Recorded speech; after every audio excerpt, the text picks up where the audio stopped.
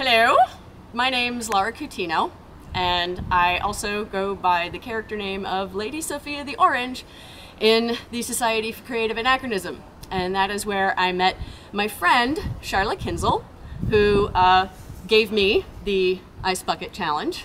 And I'm stepping up to that today, a few days late, because uh, I'm on travel out of town for a long trip, so I, it took a little while to get here. But uh, with some help from some colleagues, we are here at the moment of truth. Uh, so I am definitely uh, doing this in honor of two very important people who are now no longer with us. Um, nine years ago, uh, a man I loved very much named Alan Wormser died from complications from type 1 diabetes. And about three years before he had uh, come into my life, he had lost his wife, Kerynn Bissett, from ALS. And so I heard a lot about how that disease really uh, tears up lives all over the world. So uh, I'm here to raise awareness, and of course, I have made my donation.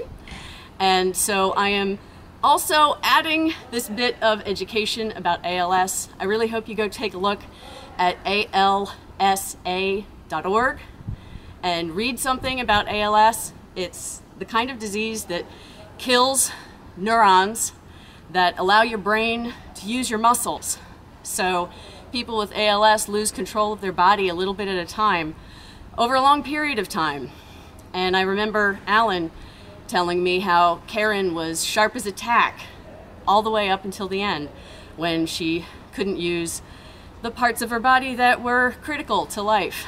So it's a really terrible way to go. So in honor of Alan and Kerynn, I'm going to fight ALS by dumping a big bucket of cold ice water on my head. Um, not the silliest thing I've ever done, but I am grateful for the opportunity to raise awareness. So um, with the help of my friends, uh, with the camera and the cue cards, I am now doing the silly thing people all over the world are now doing. Yes, very cold. Alrighty. Uh, okay, this really, this is just as ridiculous as, as you think it is. Okay, ready? Three, two, one.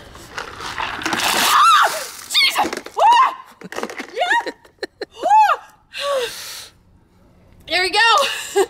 so I get the honor of passing that challenge on to uh, uh, some very special people.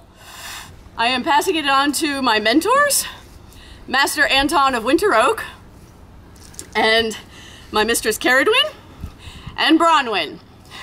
You guys are mentors of mine and have taught me a lot. I give you this opportunity to learn something yourselves. Go forth and get chilly. Thank you. I'm done.